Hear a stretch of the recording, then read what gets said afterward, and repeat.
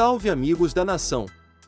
Veja o desabafo de Rodrigo Caio no retorno aos gramados no final da partida entre Flamengo e Altos pela Copa do Brasil. Saudações rubro-negras.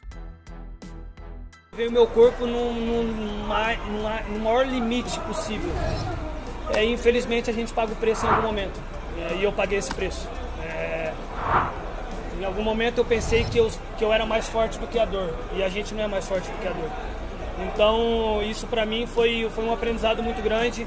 É, hoje eu entendo que a gente tem um limite e a gente precisa respeitar esse limite.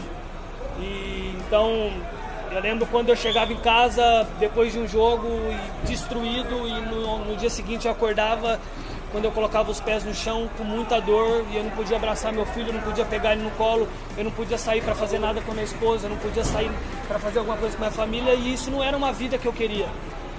É, aguentei, aguentei é, até o final, é, onde eu, é, junto com o departamento médico, eu falei, cara, eu preciso fazer essa artroscopia para que eu possa é, fazer uma limpeza no meu joelho, para que eu possa voltar a jogar saudável. É, e todo o processo que foi até aqui, nesses 155 dias, foi pensando somente nisso. E eu fui bem claro ao departamento médico.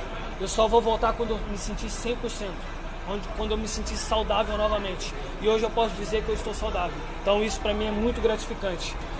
Espero que é, com o decorrer dos jogos eu possa me sentir cada vez melhor. A gente sabe que a gente não pode controlar tudo. O que a gente pode controlar é a gente se cuidar, é a gente é, fazer todo o possível para a gente se recuperar é, e uma coisa que eu nunca mais farei com o meu corpo é isso, levar o meu corpo ao limite, porque ele me mostrou e ele me deu um alerta que é, ele não vai aguentar. Então esse foi um aprendizado muito grande para mim.